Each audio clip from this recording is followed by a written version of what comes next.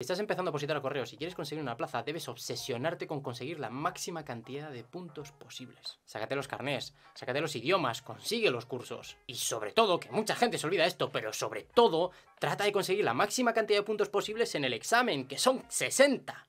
Mucha gente se piensa que la oposición es sencilla y bueno, ok, será más sencilla que otras, pero es que luego se confían y estudian poco y tratan de hacerlo todos los últimos meses. No te fíes, va a haber gente que se tome la oposición en serio y que se va a tirar mucho tiempo estudiando para llegar al examen y sacar la máxima cantidad de puntos posibles. Y cuando llegue el final del proceso, pues va a tener muchos puntos, aunque venga de la calle.